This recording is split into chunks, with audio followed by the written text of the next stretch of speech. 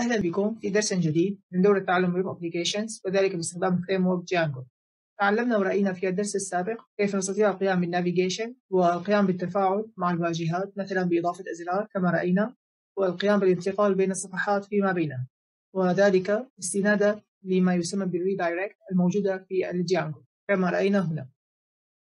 ولكننا فعليا نستطيع القيام بالتعبير عنها بأكثر من شكل وأكثر من طريقة. فليس فقط عن طريق ملفات ال Python أستطيع القيام باستخدام ال redirect والانتقال بين الصفحات. ولكن أيضا أستطيع الانتقال بشكل مباشر وذلك عن طريق صفحات ال HTML فمثلا إذا أردنا القيام بالتعبير عن الانتقال لصفحة ال add هنا ولكن بشكل مغاير وبشكل مباشر فأذهب مثلا إلى هذه الصفحة هنا وسوف أقوم بتعليق هذا مؤقتا.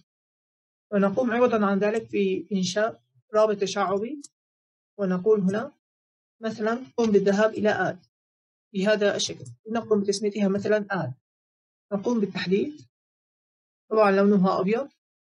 دعوني أقوم بالتعبير على لونها مثلا. وجعله مساويا للأسود. تمام. إذا قمنا بالضغط عليه نرى كيف قمنا بالذهاب إلى آد وأستطيع أيضا القيام بالتعبير عن هذه الانتقالات. ليس فقط باستخدام روابط وإنما بكتابة توابع. فهنا دعوني أقوم بالعودة. فعلى سبيل المثال أستطيع هنا القيام بالانتقال إلى حالة معينة مثلا هنا وذلك كما رأينا باستخدام ال instance. أعتقد إن لم يكن هناك أي مشكلة من ناحية ال instance كما رأينا سابقا فسوف أقوم بالانتقال.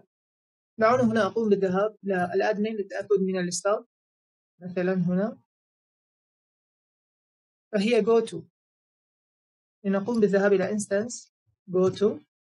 فنرى هنا أنه يوجد مشكلة من ناحية القيام بالعرض فهي not iterable أي غير قابلة للعرض لذلك هنا أعتقد يجب عليه القيام بالعودة إلى الشكل السابق وذلك بإضافة شرط الإف. فإذا كانت مثلا أنا أقوم بإضافتها بهذا الشكل إذا كانت هذه الأوبجكت أكبر من الواحد عند ذلك قم باستخدام الفوق وإلا فهنا قم بالتعبير عن هذه بشكل فردي وذلك باستخدام الأوبجكت بهذا الشكل.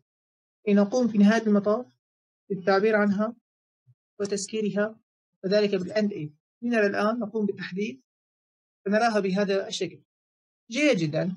الآن دعوني أقوم مثلا من خلال هذه الصفحة الرئيسية عندما أقوم مثلا بالضغط عليها سوف أنتقل إلى الحالة الفرعية والتي هي instance مثلا السلوج الذي يعبر عنها. كيف أستطيع القيام بذلك؟ هنا مثلا عندما نقوم بالضغط عليها كما رأينا هنا أستطيع القيام بإضافة رابط تشعبي مثلا لنقول دعوني أقوم بالذهاب إلى ال وهنا سنقوم بإضافة هذا الرابط. هنا وهذا يعبر عن سلوك خاص بالأوبجكت فنقول طبعا ضمن أقواس object slug لنرى الآن إذا قمنا بالتحديد والعودة إلى الصفحة الرئيسية. فهنا نرى الرابط التشعبي في الأسفل وإذا قمنا بالضغط عليها ننتقل إلى هذه الصفحة. جيد جدا. وأعتقد هنا بالمثل. تمام. بهذه الطريقة نستطيع القيام بالذهاب إلى ال instance المعبر عن هذه الحالات الفردية. وأستطيع القيام بالتعبير عن هذه ولكن كتابع موجود في ال object فللقيام بذلك نقوم بالذهاب إلى الموديل ونقوم هنا بتعريف هذا ال function فنقول get absolute. أعتقد هذا الاسم متعارف عليه فيجب كتابته بهذا الشكل. نقول هنا self. وهنا return وذلك لهذه الانستانس وهنا نقوم بوضع أو نقوم بكتابتها format ونقول هنا self slug. أعتقد بهذا الشكل. إننا الآن نقوم بالذهاب إلى index وبدأ القيام بكتابتها بهذا الشكل. فيكفي القيام بالتعبير عنها وذلك باستخدام object get absolute URL.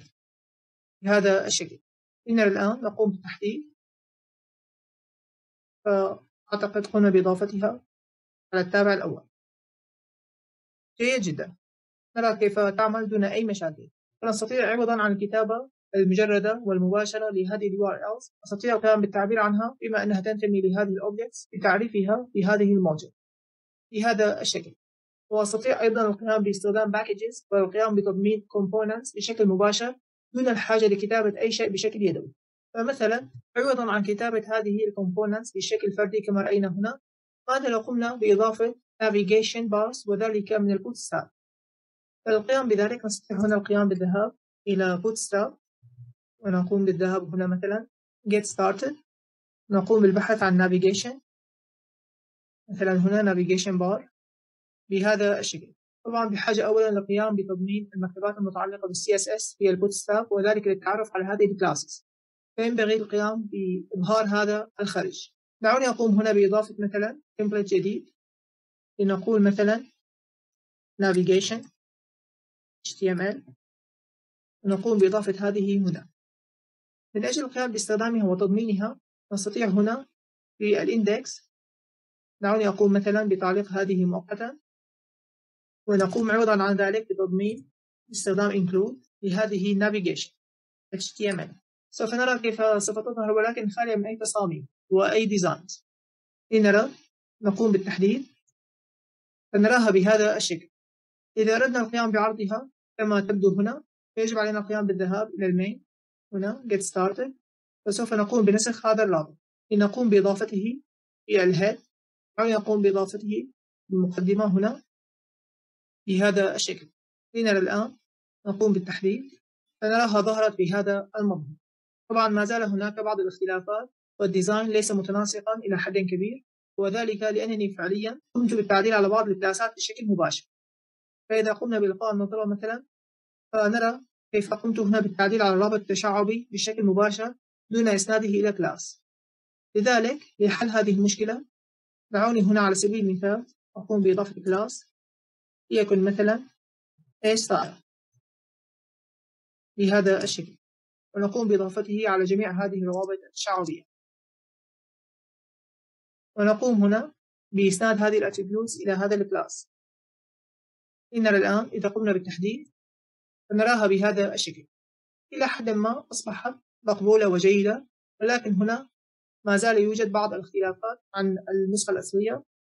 فإذا قمنا هنا مثلا بعرض هذا الإنسبكت للذهاب إليه هنا. فنرى بعض الاختلافات التي هي هنا مثلا. فيجب علي القيام بجعل الإنبوكس إذا قمت بتضمينه. هنا مثلا. مثلا box sizing unset وأيضا بالنسبة أعتقد هنا الهوفر. إذا قمنا بالذهاب هنا وقلنا هوفر. فأقوم أيضا بنسخها. وأقوم بجعلها مساوية مثلا للون الأبيض. إننا الآن أقوم بالتحديد فنراها بهذا الشكل. جيد جدا. نرى كيف قمت بتضمين هذه البوتستراب وإضافة لذلك قمت هنا بالتعديل على ال styles الخاصة بهذه ال components الموجودة مسبقا والتي قمت بتعريفها في زمن فائت وذلك بدورة ال CSS وقمت بتحقيق التعديلات اللازمة لضمان الإظهار دون مشاكل على كلا الطرفين.